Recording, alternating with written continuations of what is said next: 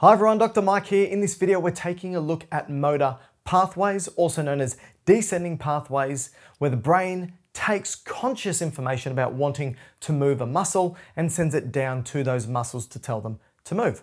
So predominantly we're focusing on one pathway called the corticospinal pathway, but we're also taking a look at upper and lower motor neurons and what happens when they are damaged. But first let's orientate ourselves to what we've drawn up here. So we've got our two cerebral hemispheres for our brain. We've got the cortex of the cerebrum as well. And remember, the cortex is the outer few millimeters of the brain that deals with consciousness. So either if sensory information gets to the cortex, you become consciously aware, or if you want to consciously move a muscle, it must originate at the cortex. So here we're talking about consciously wanting to move a muscle. And so this is going to originate at an area of the cortex called the motor cortex. And the motor cortex is located in the frontal lobe. And similar to the somatosensory cortex, the area where we experience or are consciously aware of sensation, there is a map of our body on this particular cortex. So we've got an area map for the hand, and this is where conscious movement of the hand will originate, and that's what we've got here. In addition to this, deeper in the brain, we've got our thalamus here and here. So again, they're the sorting centers, but they're most important for sensory information. Then we've got our brainstem, and remember the parts of the brainstem include the midbrain, include the pons, and include the medulla. So these are the three components of the brain stem. And then we've got our spinal cord. Now I'm going to tell you about the two neuron chain of uh, motor information. Now remember, it's going to be called the cortico-spinal pathway. And it is about conscious motor movement. Conscious motor movement.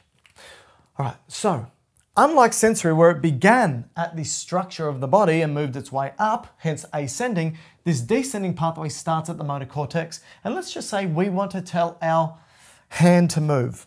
Now, if we want to tell our hand to move, this signal will originate here at the motor cortex, and it's going to send a neuron down, down, down the brainstem.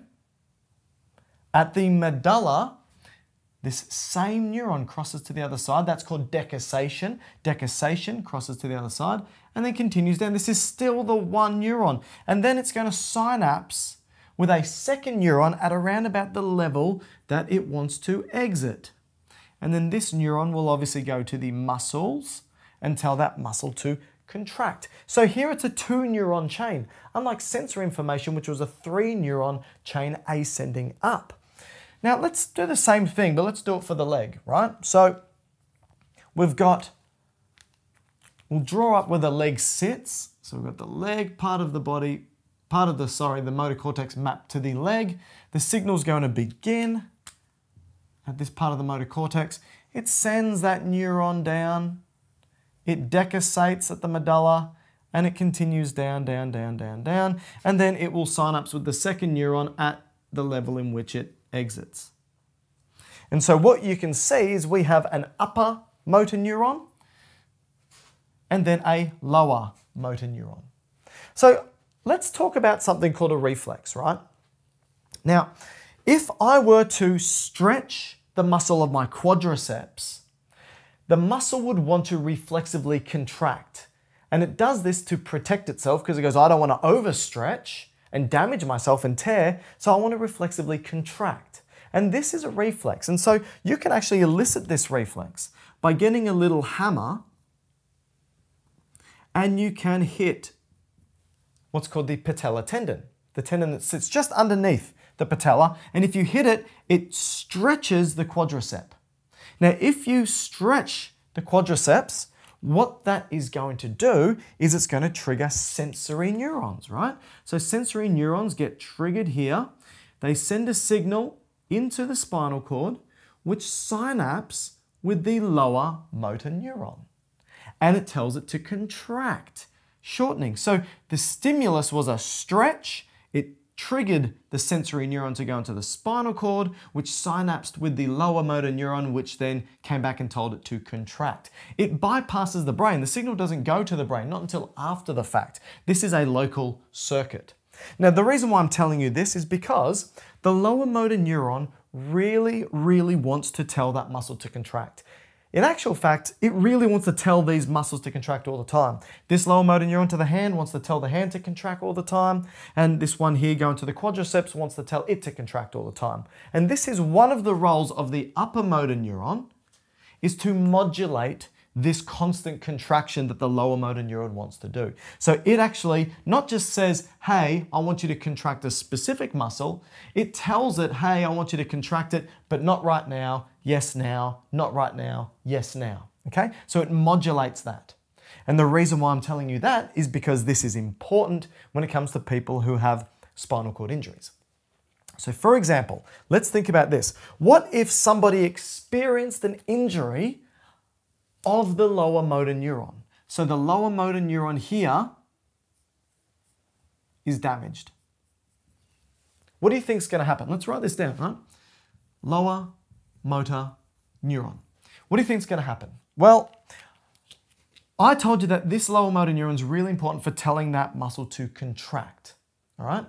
It's also important because this neuron when it's alive and well and healthy, it will release growth factors, which are important chemicals that tell muscles to grow. So, two important things that happen if a lower motor neuron is damaged is that the mass or size of that motor neuron diminishes significantly. Because again, this lower motor neuron can't release those growth factors. The power of this muscle, if the lower motor neuron is damaged, drops significantly as well, because this is the neuron that's primarily responsible for saying contract, contract, contract. All right? What about the reflex? If I were to hit it with a patellar tendon, right? The sensory neuron's intact. It goes into the spinal cord to synapse with the lower motor neuron, but nothing happens because the lower motor neuron's damaged. So the reflex is reduced. This is called hyporeflexia. Hyporeflexia. Now, this also means that the muscle has hypotonia. So reduced ability to contract. And we also call this flaccidity. The muscle is flaccid, flaccidity. And this is what happens when you have a lower motor neuron injury. But think about what happens if we have, so let's just say this is intact, right? There's no problem with this lower motor neuron. It's okay, it's intact. Here it is. But it's the upper motor neuron that has an issue. So now the damage is here at the upper motor neuron. What happens? Well, let's write this down. Let's compare it to the lower motor neuron. So let's write it next door. Upper motor neuron. And let's look at the same thing. So let's look at mass first of all. So this lower motor neuron is intact, so it can still release growth factors. Now, if the upper motor neuron isn't working, the lower motor neuron's not really going to do much either in regards to it's not going to be functioning appropriately. So while the mass will be reduced, it won't be as significant as the lower motor neuron. Because again, the lower motor neuron, neuron is intact. It's still releasing growth factors, just not as much as it usually would. Power. Well, again, this lower motor neuron is what's responsible for telling that muscle to contract. And that lower motor neuron is intact. So the power is still present, but it is reduced, but not as much as it is with the lower motor neuron. What about the reflex? Hit the patellar tendon with a hammer, stretch, stimulate the sensory neuron, goes into the spinal cord, talks to that lower motor neuron, which is intact, and it can send the signal back to tell it to contract. But the thing is this, what did I tell you the upper motor neuron does?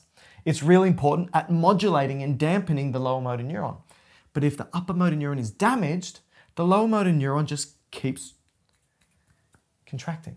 So you actually don't get hyporeflexia, you get hyperreflexia.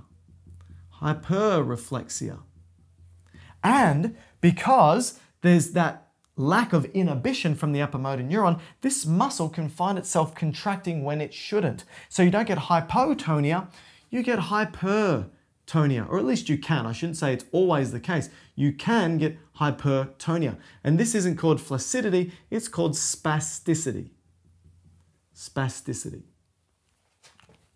And so that's an upper an issue with an upper motor neuron. So again, this is when you have lesions or damage to these particular areas. And now you can think about it.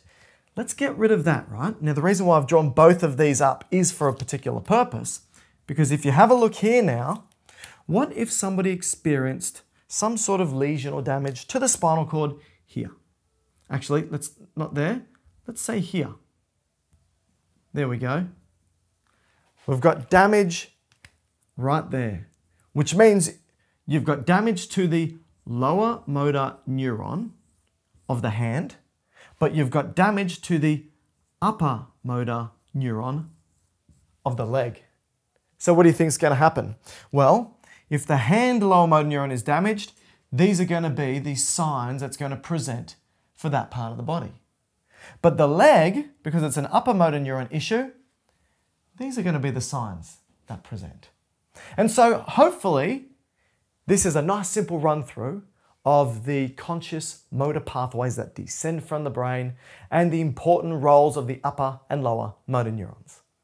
Hi everyone, Dr. Mike here. If you enjoyed this video, please hit like and subscribe. We've got hundreds of others just like this. If you want to contact us, please do so on social media. We are on Instagram, Twitter, and TikTok at Dr. Mike Todorovic at D R M I K E T O D O R O V I C. Speak to you soon.